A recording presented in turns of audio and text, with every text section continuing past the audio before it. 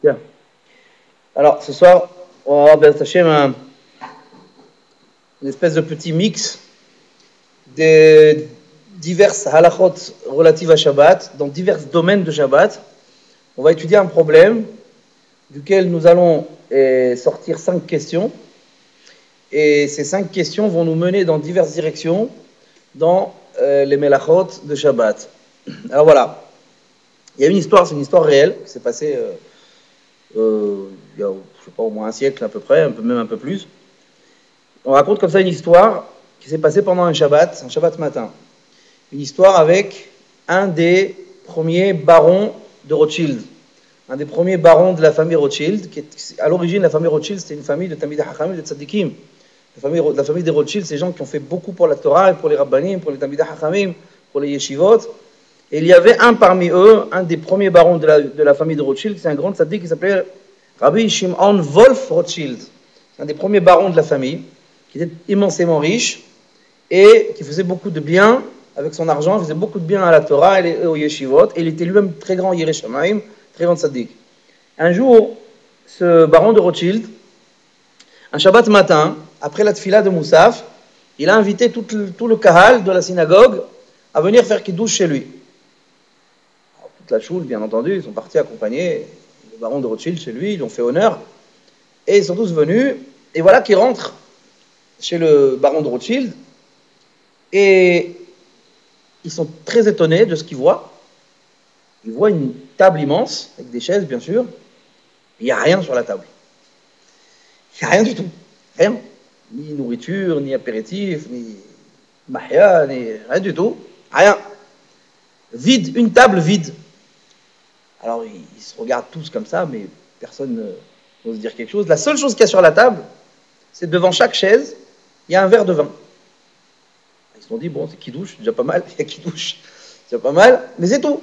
La table était vide, c'est une grande table, il a invité au moins une cinquantaine, une soixantaine de personnes chez lui, mais vide, rien d'autre que des verres de vin devant chaque, devant chaque place.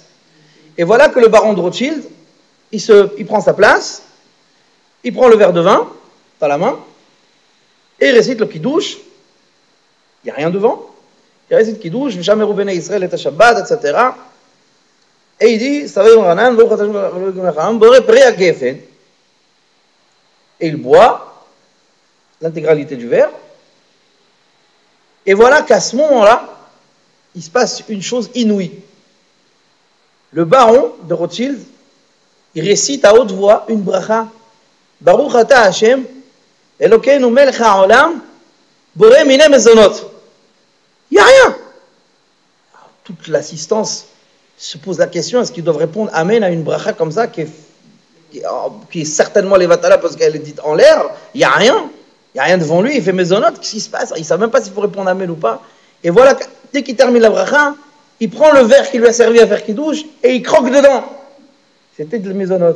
C'est comme les cornets à glace. Le verre de Kiddush, c'était lui-même de la pâtisserie. Il était fait de la pâtisserie solide. C'était lui-même de la pâtisserie. C'était lui-même du maisonnat. Et il a croqué dedans. Et à ce moment-là, ils ont compris. Et de, de ce problème découlent cinq questions. On relève cinq points problématiques dans cette histoire. Premier point, est-ce que, Bichlal, on a le droit pendant Shabbat de consommer, de manger ce verre? Pourquoi? Parce qu'on relève un problème de la melacha de Soter. La melacha, il y a une des 39 melachot pendant Shabbat qui s'appelle détruire. Il y a une melacha qui s'appelle construire, et il y a une autre melacha qui s'appelle détruire. Or, le fait, de prendre un verre et de le manger, de croquer dedans, bien que c'est de la nourriture, quelque part, il y, a, il y, a 30 secondes, il y a 30 secondes, cette nourriture, elle t'a servi de Kelly, elle t'a servi de verre, puisque tu as fait qui douche dedans. Donc ça veut dire que ça t'aura de Kelly. Ça veut dire que quelque part, ça a le statut de Kelly. Donc si tu maintenant tu, la tu, croques, tu croques ce verre, tu es en train d'être sauter, de détruire un Kelly, de détruire quelque chose qui avait le, qui avait le statut d'objet. Donc première question qu'on va essayer de voir, première question qu'on pose, est-il permis dans un tel cas de consommer, de manger, de croquer ce verre fait constitué de pâtisserie solide? Est-ce qu'il est permis de le consommer? N'y a-t-il pas là-dedans un problème relevant de la melacha de sauter, détruire Ça, c'est la première question. Deuxième question, est-ce que ce kidouche qu'ils ont fait, dans lequel ils ont mangé de maisonnotes, parce que vous avez bien compris que les autres verres, qui étaient remplis de vin et qui étaient devant chacun des convives, étaient lui aussi constitués de la même façon. C'était aussi de, du maisonnote. Donc ils ont fait, ils ont fait pareil que lui. Donc est-ce que ce kidouche qu'ils ont fait, en, le faisant suivre uniquement d'une consommation de maisonnote, ils ne sont pas mis à table, après ils n'ont pas fait motzi, ils ont fait uniquement du maisonnote, est-ce que ce kidouche qu'ils ont fait en le faisant suivre uniquement de mésonotes, est-ce que ce kidouche est valable Est-ce qu'il est considéré comme kidouche comme Saouda je, je sais que vous doutez de la réponse, mais on verra tout à l'heure. C'est le deuxième point. Ça, c'était le deuxième point. Troisième point, est-ce qu'il est, est-ce qu'il est permis de faire kidouche sur un tel verre constitué en pâtisserie Est-ce que ça s'appelle un verre? Ça s'appelle un keli Quatrième point, on sait très bien que le Shran Arour, dans les Ilchot Kiddush, Siman Reshain Aleph Saif Tet, chapitre 271, paragraphe 9, le Shran Arour nous donne un din que lorsqu'on fait Kiddush, on doit couvrir le pain. Avant de faire Kiddush, le, le pain doit être couvert. Ok, il y a deux raisons là-bas, etc. Il y a deux raisons. Bon, en tout cas, le pain, quand il s'agit, de véritable pain, les halot. Question, c'est la quatrième question de notre problème.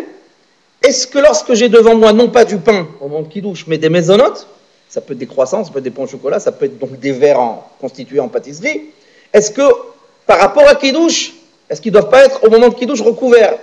Or, ce n'était pas le cas dans notre histoire. Et enfin, cinquième et dernier point, est-ce qu'avant de consommer ce vin qui était, qui était servi dans ces verres constitués de pâtisserie, est-ce qu'avant de boire ce vin, il n'avait pas besoin d'abord de se laver les mains? Pourquoi vous allez me dire pourquoi se laver les mains? Parce qu'il y a un din de Davar Shetivolo Bemashke. Il y a un din, il y a un din dans le Shulchan au Siman Kufnun Het, chapitre 158 du Shulchan Il y a là-bas toutes les halachot relatives au trempage d'aliments dans certains liquides. Vous savez qu'il y a sept liquides. Si on trempe un aliment dedans et qu'on veut le consommer humide, trempé dans cet aliment, dans, ce, liquide, on doit au préalable se laver les mains sans bracha. On doit faire netilat sedayim avec le keli, comme si qu'on va faire motzi, sauf qu'on ne fait pas de bracha. C'est la raison pour laquelle le soir de Pesach, après douche, après Kadesh, il y a urhatz. Pourquoi urhatz On fait netilat sans bracha parce qu'il y a karpas. Le karpas, il est trempé dans l'eau salée. Comment on va consommer le karpas trempé dans l'eau salée On se lave les mains sans bracha au préalable. Ben ça, c'est valable toute l'année. Je trempe un gâteau dans un café, trempe un gâteau dans un café, j'ai pas le droit de manger le gâteau comme ça trempé dans le café si je me lave pas d'abord les mains sans bracha.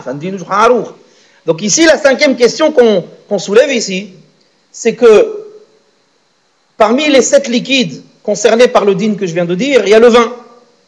Or, comment, comment ça s'est passé dans notre histoire? Le vin était servi dans ce verre, dans ces verres qui étaient constitués de pâtisserie. Donc quelque part maintenant, cette pâtisserie, quand ils vont la manger ensuite, elle était imbibée du vin. Donc c'est comme si ils ont pris un morceau de gâteau qu'ils l'ont trempé dans du vin. Pour faire ça, il faut faire netila sambracha. D'abord, j'étais voulu mashke. D'accord? Donc peut-être qu'avant, donc c'est ça, la cinquième question qu'on pose. Est-ce qu'avant Bichlal de faire kidouche, est-ce qu'ils n'avaient pas d'abord besoin de se laver les mains sans bracha pour pouvoir ensuite faire kidouche et consommer ce verre en pâtisserie qui était imbibé de vin? D'accord? Vous avez cinq questions. je récapitule les cinq questions et on va y répondre, une par une. Les cinq questions, c'était les suivantes. Première premier problème, premier problème, est-ce qu'il est permis de croquer dans ce type de verre constitué de pâtisserie? N'y a-t-il pas là-dedans un problème relevant de la melacha de sauter, détruire? Deuxième question, est-ce qu'on peut faire douche en le faisant suivre non pas de motzi mais de maisonot D'accord? C'est parce qu'on a, on un din de kiddush bimkom se'ouda. On ne peut faire un kiddush Shabbat que s'il est suivi de repas. Repas, c'est motzi. Ici, c'était pas motzi, c'était maison C'est la deuxième question. Troisième question. Est-ce que c'est permis, est-ce qu'il est permis de faire kiddush sur ce type de verre que l'on va ensuite manger? D'accord?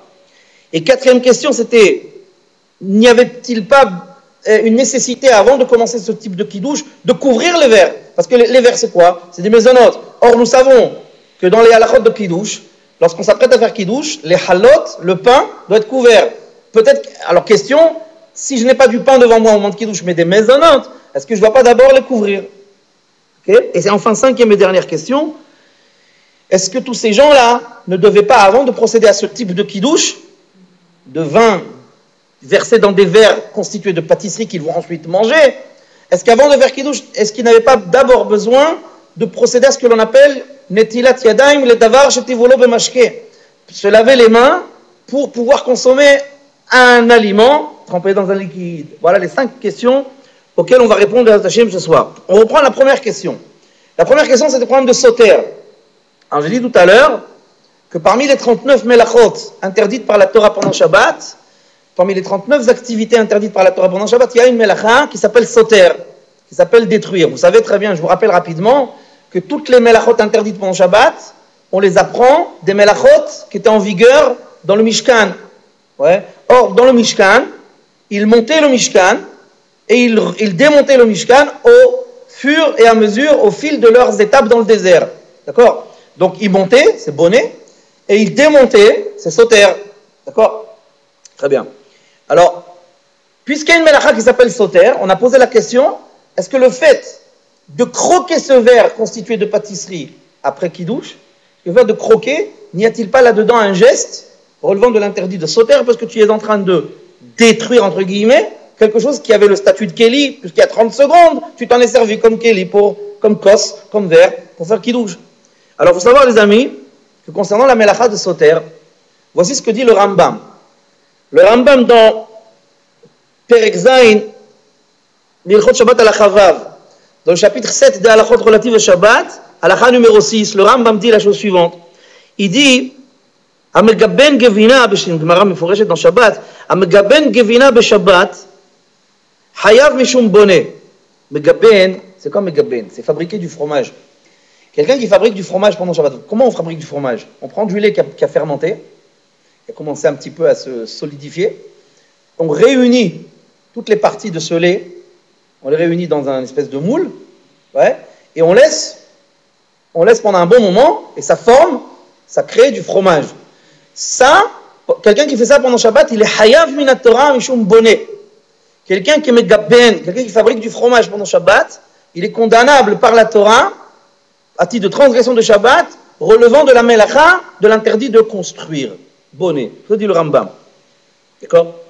Et il faut savoir qu'on a une règle toute activité sur laquelle on est hayav, mishum bonnet, toute activité sur laquelle on est, sur sa création, on est hayav, on est condamnable à titre de la melacha de construire. Si nous, si nous détruisons cette chose, on est hayav à titre de sauter, c'est logique. Si maintenant quelqu'un, il détruit, il la chose qu'il a construite, hayav mishum sauter. Si, si tu es condamnable à titre de bonnet pour avoir construit cette chose, créé cette chose, alors si tu détruis cette chose, c'est normal, c'est logique, tu es condamnable à titre de la melacha de sauter, de détruire. Alors maintenant, il se pose un gros problème devant nous. De, comment, de quel droit on, de quel droit on mange du fromage pendant Shabbat? Si quelqu'un veut manger du fromage pendant Shabbat, il a le droit il n'a pas le droit Dès qu'il a le droit. Ah, sans, rentrer dans le problème de Bassar Halav, des 6 heures, etc. Stam, bref, il n'a pas mangé de viande. Ouais, il veut manger du fromage pendant Shabbat, manger un bon camembert pendant Shabbat. Il a le droit ou il n'a pas le droit? Vous allez me dire, bien sûr qu'il a le droit. Ouais, mais sauter. Si quand, je, si quand je fais du fromage, si quand je fais du fromage pendant Shabbat, ah, je suis Haïbishum Bonnet. Maintenant, je n'ai pas fait le fromage pendant Shabbat, mais je le mange. Sauter, qu'est-ce que tu vas faire quand tu vas le manger? Tu vas le détruire. On aurait pu, c'est absurde, ce que je suis en train de dire, c'est absurde. Mais que je vais vous emmener quelque part, c'est pour ça que je vous dis ça. Si, si, si nous considérons que faire du fromage pendant Shabbat, ça relève d'un melcha de bonnet, alors manger du fromage pendant Shabbat, on pourrait très bien avancer l'hypothèse, si absurde soit-elle, que manger du fromage pendant Shabbat, ça serait condamnable à titre de sauter, de détruire. D'accord? Et pourtant, on mange du fromage, c'est moutard, c'est moutard de manger du fromage pendant Shabbat. Et si quelqu'un voudrait dire, et si quelqu'un voudrait dire, eh ben, finalement, après réflexion, si ça se trouve, on n'a pas le droit de manger du fromage pendant Shabbat. Celui-là, je lui dis, Habibi, Hachem Pourquoi? Parce que c'est marqué une fois, on a une preuve dans la Gemara Shabbat qu'on mange du fromage pendant Shabbat. C'est marqué une fourrage noir sur blanc pendant Shabbat. Dans Shabbat, Shabbat, la Gemara Shabbat, elle dit qu'on a le droit de manger du fromage. Alors, comment expliquer, d'une part, que c'est totalement permis de manger du fromage pendant Shabbat, et comment expliquer d'autre part que le fait de manger le fromage nous détruisons, entre guillemets, le fromage. Or, n'oublions pas que fabriquer du fromage pendant ça relève de la melacha de bonnet. Donc, manger du fromage pendant ça pourrait relever de la melacha, de sauter, de détruire. Comment expliquer ça? Il y a trois explications. Trois explications. Première explication, c'est celle qui est donnée par le Sefer Yesodei Yeshurun. Il dit comme ça. Il dit,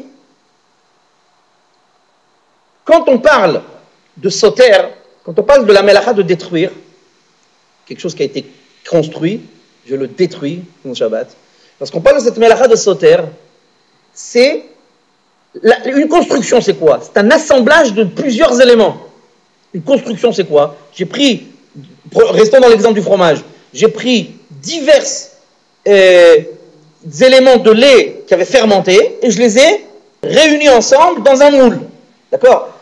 La melacha de sauter, c'est aller à l'inverse de ce processus d'assemblage. C'est désassembler. C'est désassembler les choses, et ça veut dire leur rendre leur état antérieur. Or, il dit, ça, ça n'existe pas dans la consommation d'un fromage. Quand vous consommez un fromage, vous ramenez pas le fromage à son état antérieur de plusieurs entités de lait fermenté. Ch'touillotte, n'importe quoi. Donc ça, c'est déjà le premier argument pour dire qu'il n'y a absolument pas l'ombre d'un problème de consommer du fromage. Parce que la melacha de sauter, pour dénoncer un problème de sauter, c'est qu'il y, a, il y a face à nous un désassemblage. Désassemblage qui implique un retour à l'état antérieur. Alors ce n'est pas du tout le cas lorsque quelqu'un mange du fromage. D'accord? C'est le premier argument. Deuxième argument, deuxième argument, du point de vue de la Torah, Minatora, on est condamnable à titre de la melacha de sauter, à titre de la melacha de détruire pendant Shabbat, exclusivement lorsque je détruis dans l'intention de construire par-dessus. Je détruis pour reconstruire dessus. Sauter al-menat livnot. Hayav minatora. Mais si quelqu'un y détruit sans intention de reconstruire dessus, minatora il n'est pas hayav, mais c'est assour. Si quelqu'un, si quelqu'un y détruit sans intention de reconstruire par-dessus, du point de vue de la Torah exclusivement, il n'y aurait pas de ni Hiyuv, ni d'interdit de condamnation, mais du point de vue de nos maîtres, il y a quand même un Yissour Midrabanan, même si quelqu'un il est simplement sauteur, même si quelqu'un même si quelqu'un il simplement il, fait que détruire quelque chose sans intention de, de reconstruire. Alors, maintenant ici, dans le cas du fromage, dans le cas de manger du fromage, même un Yissour de il n'y a pas. Pourquoi? Parce que N'oublions pas la définition qu'on a dit juste avant. On a dit que sauter, c'est un désassemblage et un retour à l'état, d'origine. Donc ici, quand quelqu'un il prend du fromage et il mange avec ses dents, est-ce que est-ce que c'est sauter al Non. non. Même Hachamim, ils n'ont même pas envisagé un problème là-dessus. C'est le deuxième argument. Et enfin, troisième argument, pour dire pourquoi on a le droit de manger du fromage pendant Shabbat. C'est l'argument du Benishai. Le Benishai, il a été questionné au sujet de la consommation de fromage pendant Shabbat, par rapport à tous ces problèmes. Il a dit non, c'est moutard.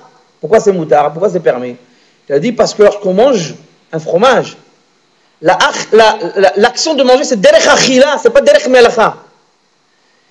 Quand on mange un fromage, on n'est pas en train de faire une melacha. On n'est pas, c'est pas un esprit de melacha, c'est un esprit de manger, de consommer. C'est un esprit de consommation. C'est la façon de manger. La façon de manger le fromage, c'est de croquer dedans. C'est quelque part de le détruire. Mais ici, c'est pas une melacha. C'est derech bekach. La, la, façon de manger, c'est comme ça. Or, cet argument, écoutez bien, cet argument de derech on le retrouve dans trois autres melachot. On le retrouve dans trois autres melachot. Cet argument de derech et grâce auquel on ne peut pas dénoncer une melacha, grâce auquel on ne peut pas dénoncer la transgression d'une melacha, quelle qu'elle soit, on le retrouve dans trois autres, trois autres exemples. On retrouve dans Borer. Par exemple, la melacha de Borer, la melacha de trier. Vous savez que dans les 39 melachot de Shabbat, il y a une melacha qui s'appelle trier. Qu'est-ce que ça veut dire trier? Trier, c'est trier le mauvais du bon. Qu'est-ce que ça veut dire mauvais et bon? Ça veut dire trier ce que je veux pas pour pouvoir garder ce que je, ce que je veux. Ça peut être de la nourriture, ça peut être des vêtements, ça peut être n'importe quoi, il y a Borer. Alors maintenant, quand, est-ce que, j'ai le droit d'être bourré Quand est-ce que j'ai le droit, de trier pendant Shabbat? Lorsque je trie ce que je veux, pas ce que je veux pas, ce que je veux. Je prends ce que je veux je prends ce que je veux, je laisse ce que je veux pas, je le fais à la main, et c'est pour tout de suite, pour l'utiliser tout de suite, ou pour le consommer tout de suite, s'il s'agit de nourriture. D'accord? D'accord Par exemple, vous avez une assiette, vous avez une assiette dans laquelle il y a des petits pois. C'est quoi l'exemple que j'aime pas? Des petits pois, on a fait la, la il y a trois, trois ans, je ne sais plus combien. Voilà, je l'aime pas celui-là, Petit pois carottes, barmenan. Ouais, même quand j'avais trois ans, je crois que je ne le mangeais pas. Bon, alors. Je me nous. Alors, imaginez-vous que Shabbat, vous avez une assiette de petits pois et de carottes mélangés. Et maintenant, vous, ah, donc les carottes, vous ne le voulez pas. Les petits pois, vous fermez un peu les yeux. Ça veut dire, bon, faites un petit effort. Maintenant, vous voulez que les petits pois, vous voulez pas les carottes. J'ai le droit de prendre avec, je vais pas dire avec ma main, avec une cuillère, une cuillère c'est comme la main, c'est pareil. J'ai le droit de prendre une cuillère, une fourchette, et de prendre les petits pois et les manger. Parce que Pourtant, je l'ai trié, pourtant, je l'ai trié. Mais j'ai trié ce que je veux et j'ai laissé ce que je veux pas. Et en plus, deuxième condition, je l'ai fait à la main. Et troisième condition, je l'ai fait pour tout de suite. Si je fais ça et je mets dans le côté pendant trois heures, c'est assourd. Ok? Bon. Alors, pourquoi ça Ça s'appelle. Pourquoi ça c'est permis? Pourquoi cette façon de faire elle est permise?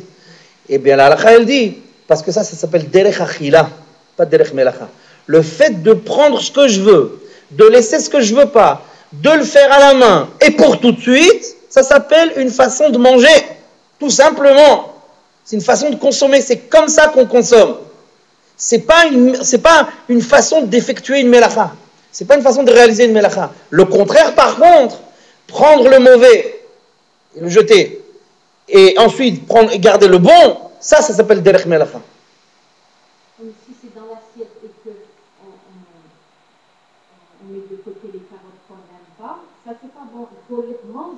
Bonne question. Bonne question ce que vous dites. Est-ce que tant qu'ils n'ont pas quitté l'assiette, est-ce que ça s'appelle que je les ai retirés C'est une très bonne question.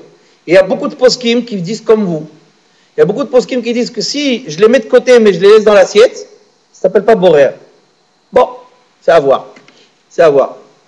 En tout cas, pourquoi je vous dis ça Parce que vous voyez que cet argument de derech achila, cet argument grâce auquel on ne peut pas dénoncer de Melacha, bekar. C'est comme ça qu'on mange, cette façon, cette façon, comme il a dit le Benishai, avec le fromage. Pourquoi j'ai le droit de manger du fromage pendant Shabbat? Ah, je détruis, je détruis ce. Il dit non, la façon, la façon de manger le fromage, c'est en croquant dedans. Ah, ça détruit. C'est c'est pas derech melacha. Alors, je suis en train de vous dire que cet argument qu'il a utilisé le Benishai, les postes qui vont utiliser cet argument dans d'autres domaines de Shabbat. Donc j'ai donné l'exemple de Borer, prendre le bon, laisser le mauvais à la main et pour tout de suite, ça s'appelle encore une fois derer achila, comme il a dit le Benishai pour le fromage. Il y a un autre exemple. Le Rama, le Rama au Siman, au Siman Shin même, Saïf Gimel. Siman Shin même, Saïf Gimel, chapitre 340, paragraphe 3, le Rama il, ramène il soulève un problème que vous connaissez. Il dit, le Rama, il dit comme ça, je vous cite, Assour, le Shabber Oga, שכתוב עליה כמין אותיות, אף על פי שאינו מתכוון רק לאכילה. דהווה מוחק. Le Rama, il ramène un problème, il dit comme ça, et vous allez voir qu'on n'est pas posé que la comme lui, mais on va citer. Le Rama, il ramène, il dit, imaginez-vous un gâteau sur lequel il y a des écritures. Joyeux anniversaire. My darling, ana mahubbak. Ouais. Par exemple. Ouais. Ils ont écrit là-bas, mais avec la, pâtisserie, ils ont écrit. Ouais, il y a des écritures. Pas, au stylo. Ouais. En faisant le gâteau, ils ont écrit des, lettres. Et bien, il dit le Rama, c'est assourd de couper ce gâteau à l'endroit des lettres, même si je suis mitkaven que manger, c'est assourd de couper à l'endroit des lettres, Mishum Mohek, à cause d'une autre melacha. Melacha qui s'appelle effacer. Dans les 39 melachot, il y a écrire, et il y a une autre melacha qui s'appelle effacer. Parce que dans le Mishkan, ils écrivaient sur les poutres, Aleph, Aleph, Bet, Bet, pour se retrouver après pour faire les assemblages. Ouais Et parfois, il se plantait. Il fait une erreur. Il avait Aleph, avec un bête, alors c'était pas ça. C'était Aleph, Aleph, par exemple. Qu'est-ce qu'il faisait Il effaçait. Mohek. Il y a Melachat de Mohek. Il y a Melachat de Mohek. Il y a Melachat d'effacer.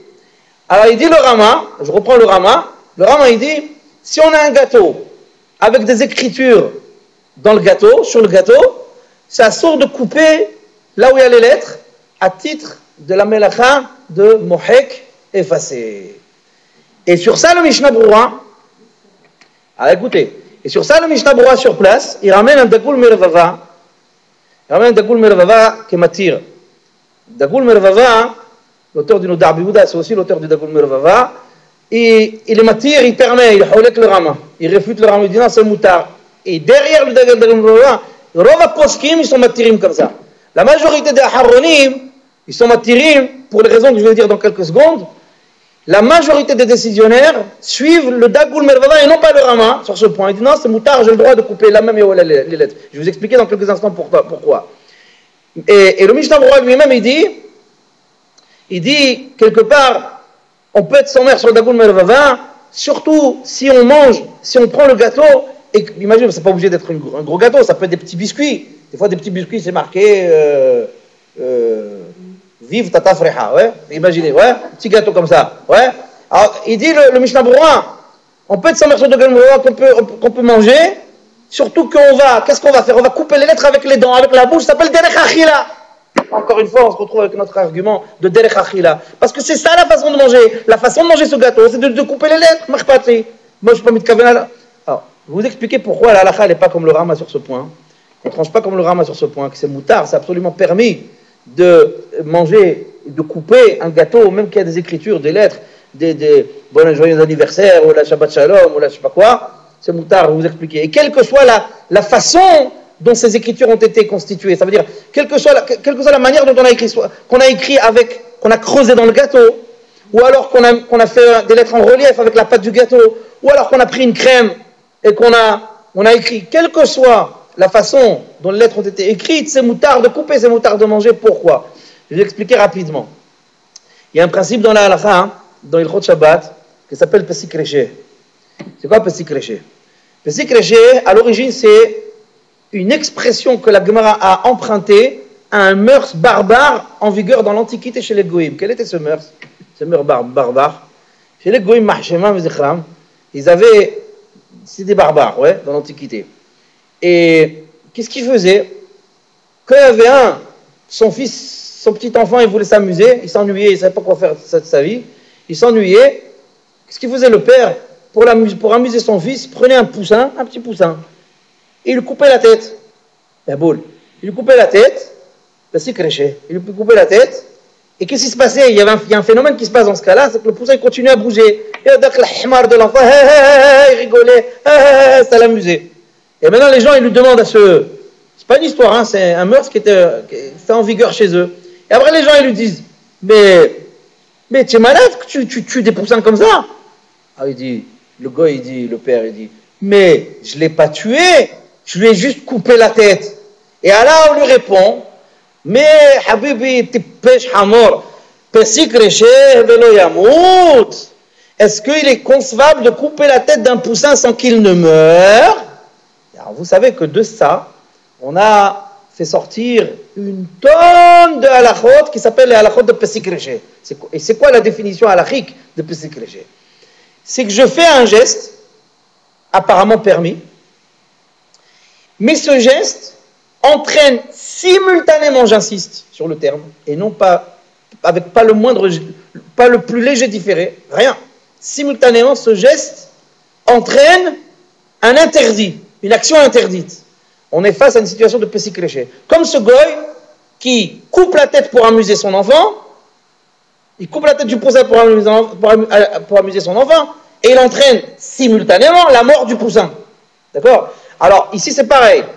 Je fais, une, activité pendant Shabbat apparemment permise, mais cette activité permise entraîne simultanément un interdit. On est face à une situation qui s'appelle Pessikréché. Or, dans les, dans les si l'action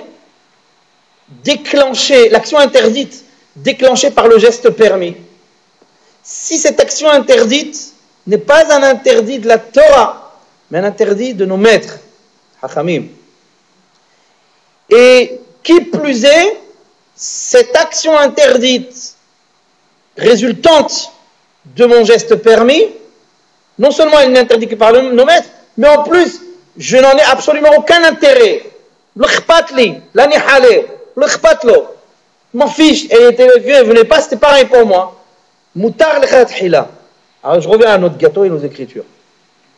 Dans la melacha de Mohek, Minatora, on dit qu'il y a une melacha, on a dit que dans la Torah, il y a une melacha qui s'appelle Mohek, qui s'appelle effacer. Comme il y a une melacha qui s'appelle écrire, kotev, il y a aussi une melacha qui s'appelle Mohek, effacer. Or, selon la Torah, comme tout à l'heure on a dit Soter, Minatora c'est Soter al note pour être condamnable par la Torah à titre de la melacha de, détruire, il faut détruire dans l'intention de construire. Eh bien, dans Mohek, c'est pareil. Pour être condamnable par la Torah à titre de la melacha d'effacer, il faut pour cela effacer dans l'intention de réécrire par-dessus. Or, quand bien même on, envisagerait, quand bien même, admettons, admettons que manger un gâteau où il y a des écritures, ou couper un gâteau où il y a des écritures, quand bien même ça relèverait de la melacha de Mohek, mais Mohek minat Torah ou midir Rabbanan habibi. Parce que quand bien même c'est effacé, mais c'est pas effacé dans l'intention de réécrire dessus. C'est déjà pas minat Torah. Ok. Et en plus, moi, moi qu'est-ce que je suis en train de faire à la base? Je suis en train de couper, ou je suis en train de manger. Seulement, ce découpage ou cette consommation entraîne un mohek midirabbanan. Ce découpage ou cette consommation entraîne un effacement interdit uniquement par nos maîtres. C'est un peu si créché. Mais il des rabbanan et Mais oui, mais on a dit que même que si j'efface, même sans intention de réécrire, Minatora, il n'y a pas de problème, mais Midirabanan, ça reste assourd. Mais ici, c'est un Issour des Rabbanan, certes, admettons, admettons, admettons que j'entraîne par ma consommation ou par mon, découpage, admettons que j'entraîne le Issour Midrabanan de Mohek, d'effacer, admettons, mais il faut rajouter un paramètre.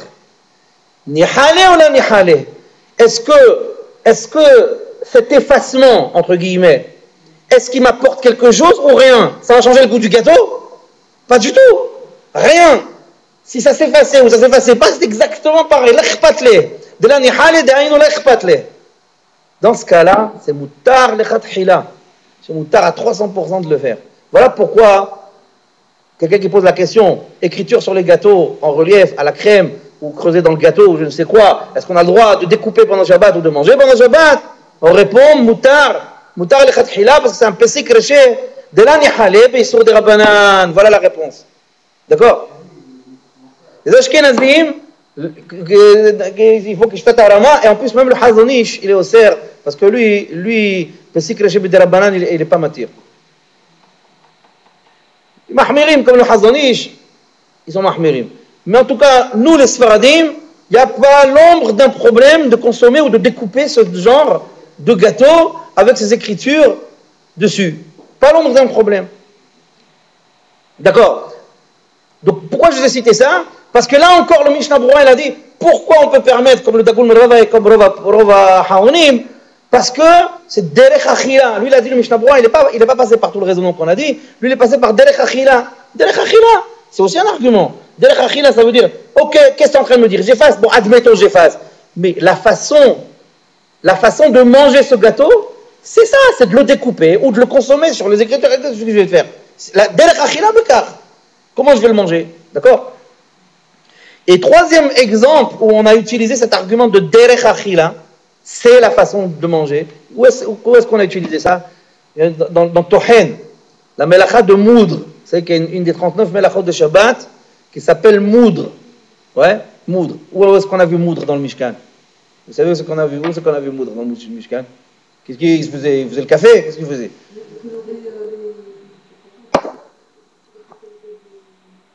Shikat samamanim. Ouais. Vous étiez en train de le dire. Je crois que a dit. La Ketoret. Ouais, c'est ça. Shahikat Samamanim. Hazak, à la classe. Shahikat Samamanim. Shahikat Samamanim, c'est moudre, concasser les plantes, les 11 plantes qui servaient à, à constituer la ketoret, l'encens, qui était brûlé au quotidien dans le Betamikdash. Et pour cela, il fallait réunir 11 plantes bien précises, et ensuite il fallait les écraser et les moudre qui deviennent comme de la poudre. Donc c'est là le melachat tohen.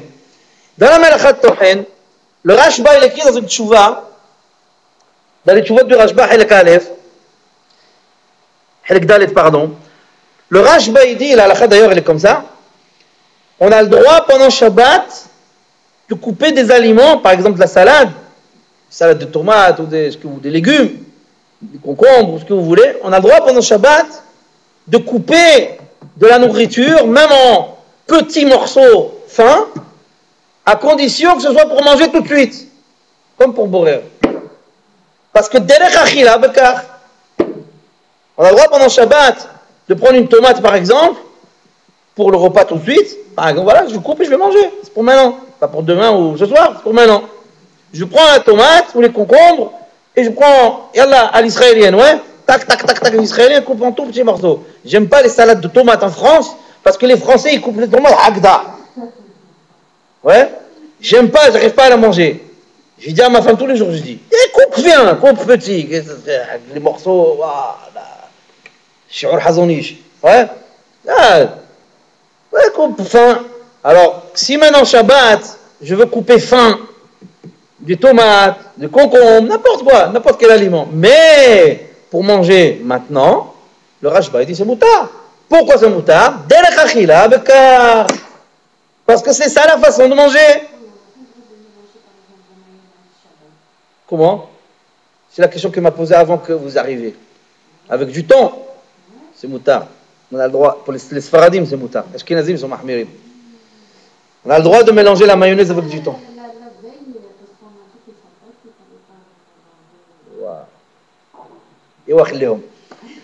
D'accord C'est moutard. On a, le droit de, on a le droit de mélanger la mayonnaise avec, à condition. Mais encore une fois, vous avez raison. Encore une fois, il ne faut pas que ce soit pour dans trois heures.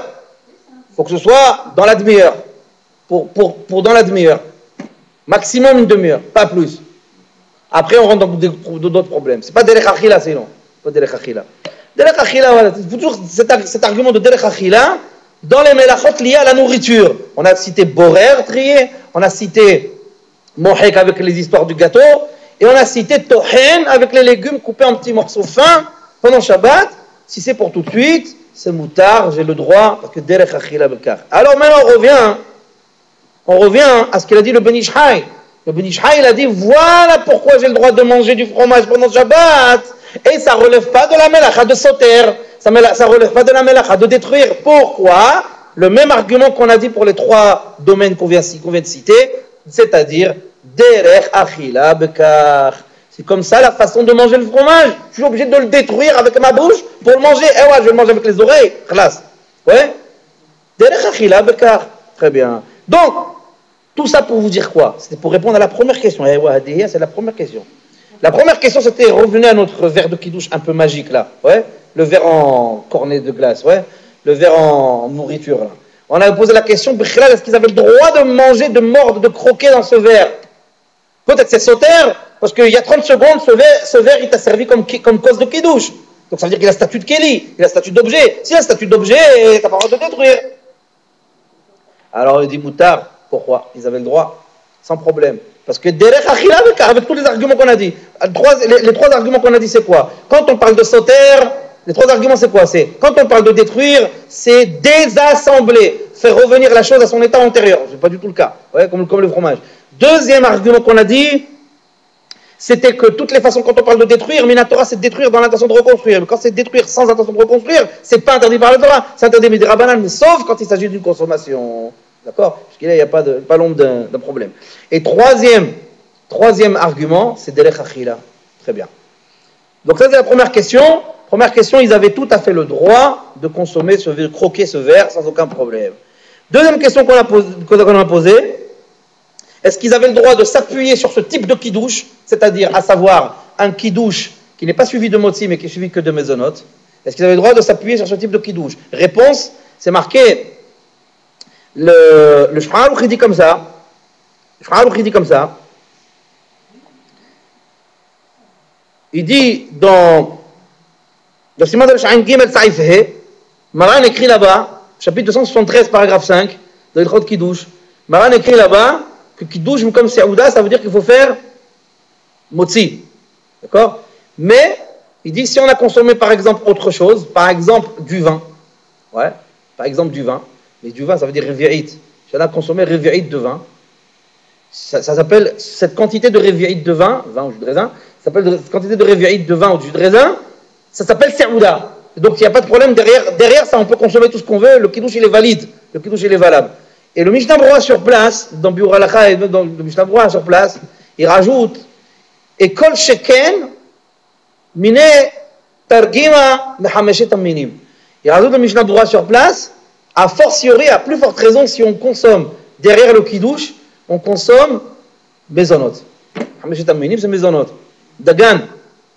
Ouais on consomme du mésonote, moutard. Donc là, sans aucun problème, on répond très rapidement à la deuxième, question.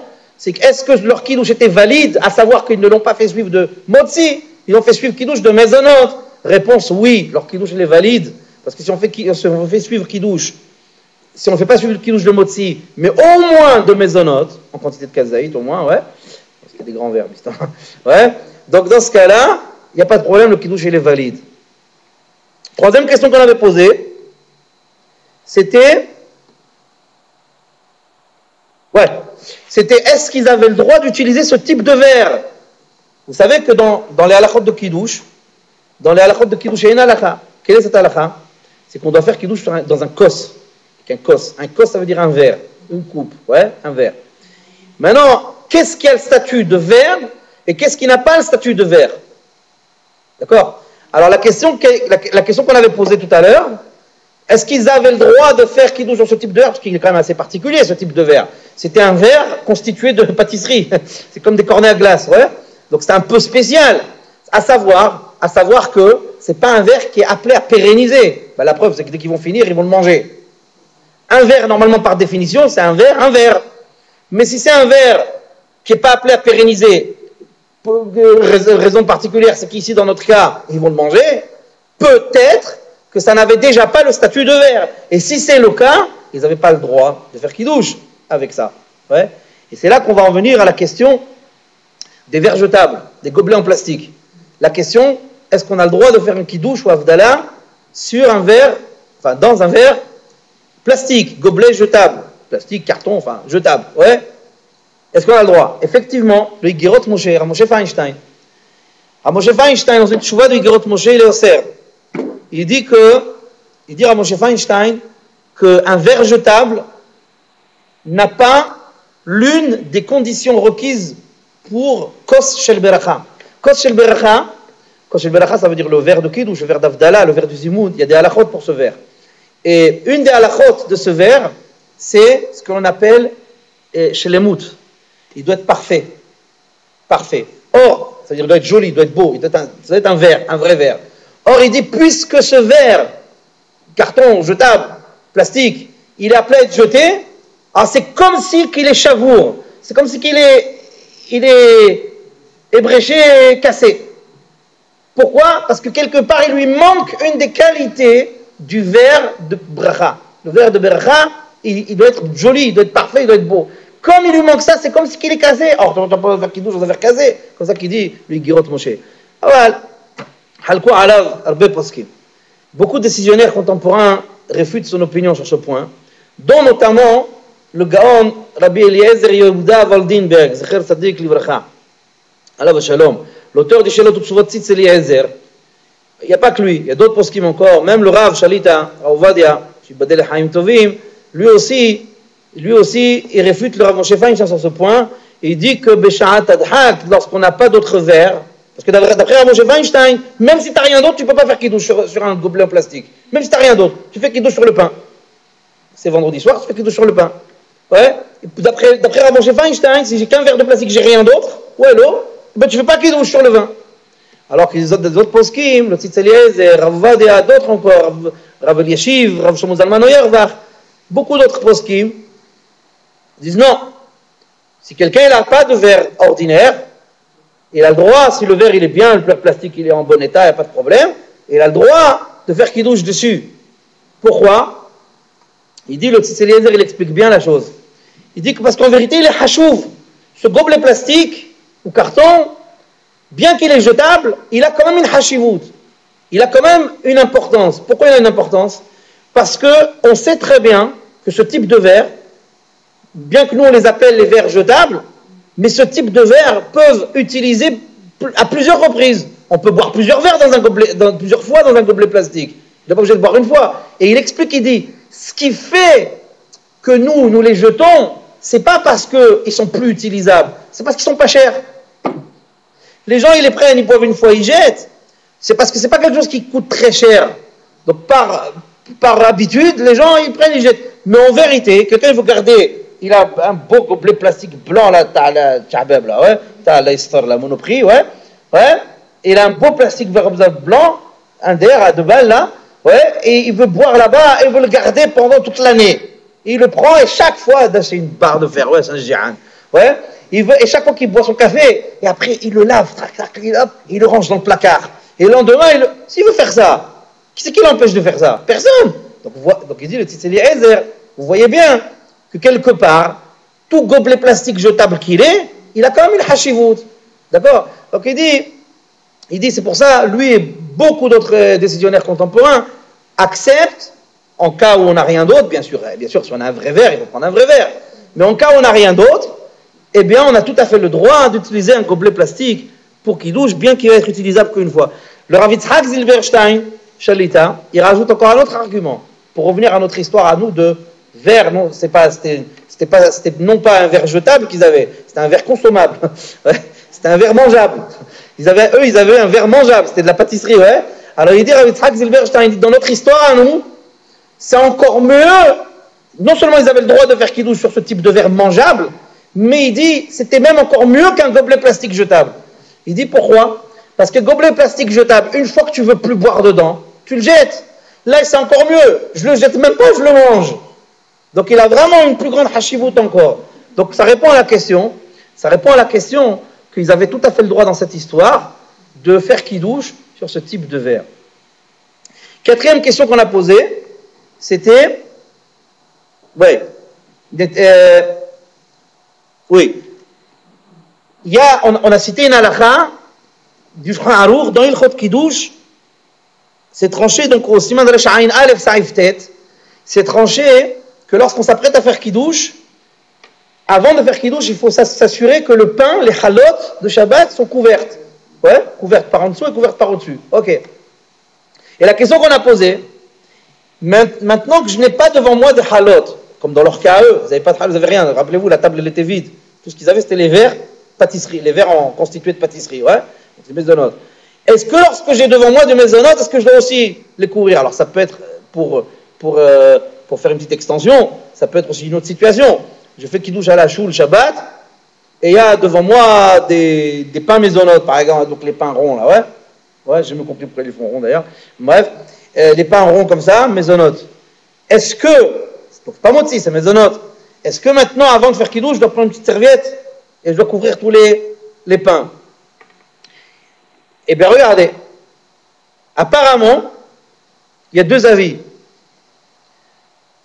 Je vais en citer un, enfin, un parmi tant d'autres.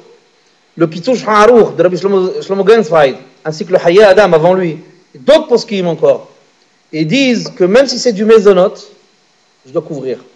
Alors, on va dire étrange comme ça d'ailleurs aussi dans Hazan Ovadia Shabbat. Même si c'est du mésonote, je dois couvrir. Pourquoi? Parce que, parce que le mésonote, ça s'appelle aussi pat en hébreu. Pat, pétav. Ouais. Et pat, ça veut dire pain. Seulement, c'est pat, habab, kisnin. Le mésonote, c'est pat, habab, kisnin. C'est un pain, mésonote. Mais c'est un pain quand même. C'est un pain quand même. Alors il dit, ils disent, le Kitsush Harouk, le Hayadam, Vadia, beaucoup d'autres poskim encore, ils disent que même du mésonote, il faudrait le couvrir avant, avant qu'il douche. Même du mésonote, il faudrait le couvrir. Il faut s'assurer avant qu'il douche, si vous êtes dans un événement, quelque chose, Shabbat, un Shabbat, un Shabbat midi, un, apéritif, un kidouche, et qu'il y a des pains mésonotes, comme c'est l'usage, eh bien les pains mésonotes, il faut qu'ils soient couverts. Les maisonnotes, il faut qu'ils soient couverts avant qu'ils douchent. D'accord? Il y a Sefer Ta'amia Minhagim qui dit que non. Il ramène d'autres arguments. Ils disent que non. Mais les Marassés, on tient que oui. Donc dans notre histoire, il y a un problème. Dans notre histoire, qu'est-ce qu'ils auraient dû faire? Avant de faire Kiddush, il fallait couvrir les verres. Parce que le Maisonot, c'était les verres. ouais Mais alors là, vous rentrez dans un autre problème. Voilà. Vous rentrez dans un autre problème. C'est qu'il va rester la bracha de Boré Geffen et le vin, il est caché. Ah, qu'est-ce qu'il aurait fallu faire dans notre histoire?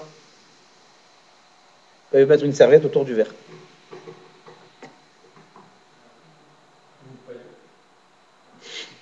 Il fallait mettre une serviette autour du verre.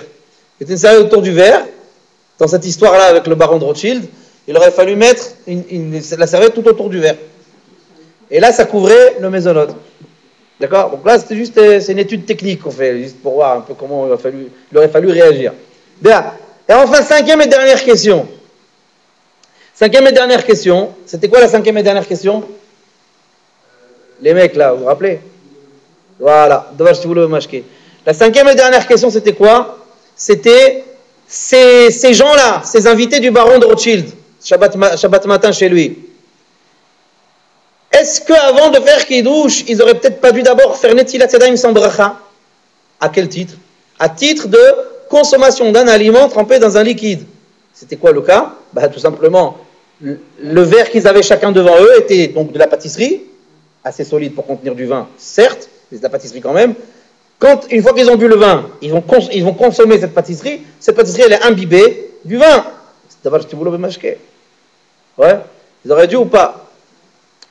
Il y a un Kafahaim dans l'Ilchot Davar Shtivulo Bemashke qui dit, il est retenu d'ailleurs ce Kafahaim. Euh, Rav David Yosef le ramène dans la Chaboura aussi. Il dit que dans le domaine de, Davar dans le domaine de se laver les mains sans bracha avant de consommer un aliment trempé dans un liquide, si il n'est pas d'usage dans ce type de consommation précise, s'il n'est pas d'usage de rentrer en contact avec le liquide lorsqu'on trempe, et, que deuxièmement, on fait attention à ne pas toucher le liquide, on n'a pas besoin de se laver les mains. Ça veut dire que, par exemple, par exemple, une soupe avec des légumes. Normalement, les légumes, ils sont trempés dans la soupe. La soupe, c'est quoi? C'est de l'eau. Ouais, à la base, c'est de l'eau. Donc, l'eau, ça fait partie des sept liquides pour lesquels on doit se laver les mains si on trempe un aliment dedans. Euh, je mange une soupe avec des légumes. Mais avec quoi je la mange? Avec une cuillère. Sauf si je suis mais, mais ça veut dire normalement, si je suis un type normal, je la mange avec une cuillère. Il y en qui vont la prendre comme ça avec leurs mains, et voilà, bon, d'accord? Bon. Mais en tout cas, normalement, on la mange avec une cuillère. Et généralement, donc, donc, donc un, un l'usage est de ne pas rentrer en contact avec le liquide. Généralement, quand on mange une soupe, on ne va pas, on va pas et puis deuxièmement, généralement les gens, il faut attention de ne pas mettre les doigts dedans. Non seulement ce n'est pas, pas l'usage de mettre les doigts dedans, mais en plus il faut attention à ne pas mettre les doigts dedans. Alors quelqu'un qui mange une soupe avec des légumes, il n'a pas besoin de faire un le bracha. Il n'a pas besoin de se laver les mains sans bracha. Pourquoi? Parce qu'il y a ici, on a les deux conditions. Par contre, je prends un gâteau, je trempe dans mon café ou dans mon thé. Ah, là, des fois, les gens, et hop, des fois ça, des fois ça touche. Ouais. Et, c'est pas. Et, là-bas, on peut pas dire, ah, c'est pas l'usage de. Ah, il n'y a pas d'usage là-dedans. Là, dans les gens, ils trempent, des fois ça touche, des fois ça touche pas. Là, faut, faire, là, faut se laver les mains. Obligatoirement. Là, faut se laver les mains sans bracha avant de consommer ce gâteau dans le café, dans le thé. Alors, il dit le Kafahaim, si on a les deux conditions réunies, à savoir, l'usage est de ne pas toucher le liquide dans ce type de trempage. Et puis, deuxièmement, il y a la, la, la, la, la vigilance de la personne de ne pas mettre ses doigts dans le liquide, alors en ce cas-là, on peut, autoriser à consommer sans, sans faire netila euh, au préalable. Donc, dans le cas. Ouais, mais ça veut dire, dans le cas du biscuit, le, risque de toucher, il est quand même, est quand même assez important. Et, et, le, et le, l'usage, l'usage, il n'est pas de, il est il n'est pas spécialement de ne pas faire attention à ça. Quoi. La plupart des gens ne font pas forcément attention à ça. Donc, dans, le cas de notre histoire à nous, c'est vrai que ces verres constitués de pâtisserie, bah, ils étaient imbibés du vin, parce qu'ils ont contenu le vin. Oui, mais après, quand il le mange, quand il le croque, il, y a, le goût du vin dedans, forcément. Donc, ça veut dire qu'il a imbibé du vin. Mais étant donné que lorsqu'ils ont fait kidouche, ils n'ont pas mis les doigts dedans, évidemment, ils n'ont pas mis les doigts dedans, et ils font attention à ne pas mettre les doigts dedans en plus, etc. Donc, ils pas, il n'y a aucun contact avec le liquide. Et de façon certaine, dans ce cas-là, hein, il n'y avait pas besoin forcément de se laver les mains.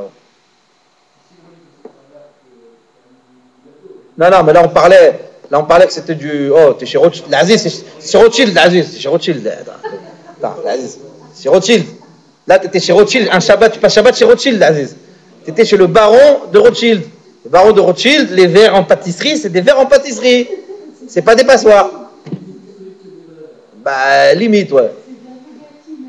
D'accord euh, Donc, non, on parlait que c'était vraiment hermétique, c'était quelque chose, quoi. Voilà. Voilà les amis, il y a des questions? La semaine prochaine Ouais Excusez-moi.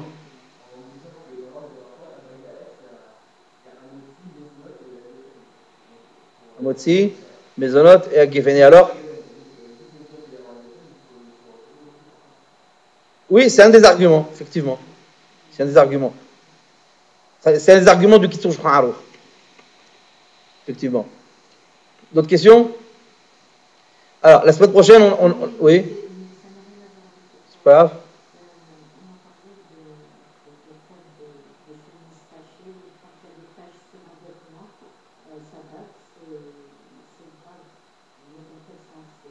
Je sais pas ce que ça veut dire. Il va se faire virer de son boulot. Il va se faire virer de son boulot. La quoi? Waouh. La lèvre, ça n'existe plus. La lèvre, ça n'existe plus depuis Hawlan Betamikdash et plus ça existe. Enfin, il y avait, hein, du temps de la, du temps, selon la Torah, oui, ça existe, mais à l'époque du Betamikdash, pas aujourd'hui. À l'époque, ça existait sur les vêtements, sur les murs. Pas seulement sur la peau. Mais aujourd'hui, non. Aujourd'hui, la, la, lèpre telle que la Torah elle le conçoit n'existe plus. Non, du Baudelaire. Ah, c'est un coup de Baudelaire. Qu'est-ce qu'il y a? Quand euh, un vêtement est taché, on ne peut pas faire une. Ah, ça c'est une bonne question. Ça dépend. si la tâche elle est importante, insignifiante. Est-ce que vous visible, bien visible? Ah, Effectivement, ça pose un problème.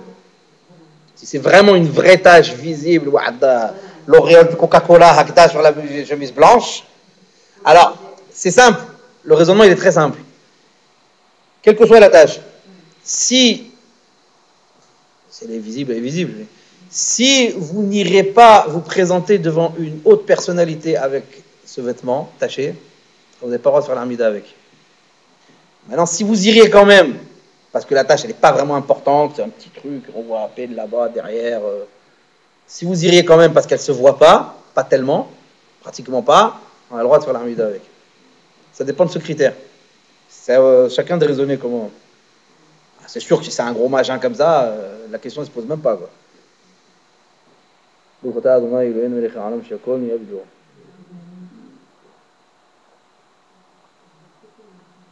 C'est bon, c'est clair? Alors, je vous donne rapidement le programme. La semaine prochaine, on sera euh, le 19, on consacrera le shiur, ouais, on m'a dit, on consacrera le, c'est pas, sur YouTube, euh, sur YouTube, on consacrera le, le shiur, sur les halachot relatives aux jeunes du 17 Tammuz qui sera, qui sera le mardi d'après. Et ensuite, le mercredi suivant, c'est-à-dire mercredi 26, mercredi 26, on, attend, on commencera les halachot relatives à la période de Ben Ametzarim, les halachot relatives à la période des trois semaines entre 17 Tammuz et Tisha et ainsi que euh, les dans les semaines d'après. On continuera avec les halachot de Tisha B'Av, les halachot du 9 Av. On verra, que, on verra que la période de Ben Ametzarim, il y a trois étapes dans la halakha. Il y a à partir du 17 Tammuz, il y a les halachot qui rentrent en vigueur à Rosh Chodesh Av, et les halachot qui rentrent en vigueur Shavua, Shehalbo, La semaine dans laquelle tombe le jeûne du 9 Av. Donc on verra ça, dans les derniers shiurim. Le dernier shiur est prévu, le dernier shiur de la saison, est prévu euh, le mercredi 10 juillet. Mercredi qui juste avant Tisha. D'accord? Donc, Bezrat Hashem sera le dernier show de la saison et on reprendra euh, Hashem euh, dans la dernière semaine du mois d'août. Voilà. C'est ce que la mitzvot